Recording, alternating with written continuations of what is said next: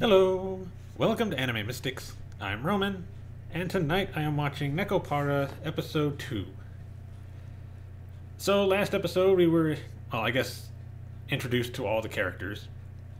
Pretty much. Um, if you haven't played the games, uh, this is about a dude who starts a bakery has his cat girls as waitresses. Um, there's van- I think it's vanilla and chocola are the two main ones.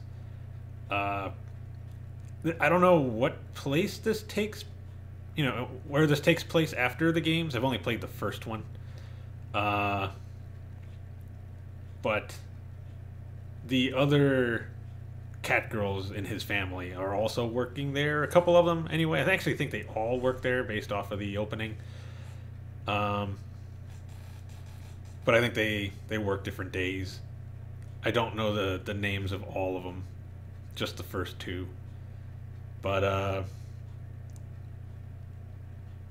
not a whole lot happened, really.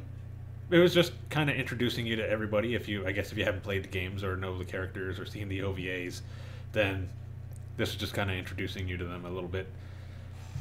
Um, and I guess we're going to get introduced to a new cat girl. Um, I think it was yeah, it was Chocola, who was going to the store to go pick up something for dinner, uh, like a seasoning or something like that, and ran into this little kitten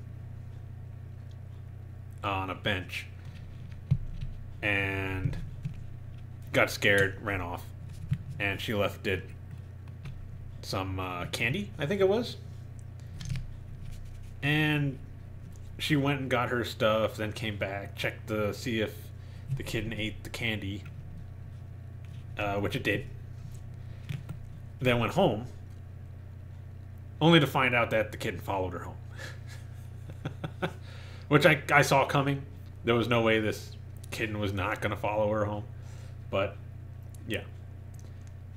Now we're going to see how this plays out. I'm pretty sure the owner is going to take it in because uh, it's a stray. So it's going to need an owner.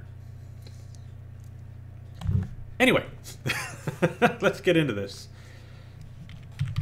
All right, so the video is going to be located over here, and the link to the reaction is going to be in the description down below.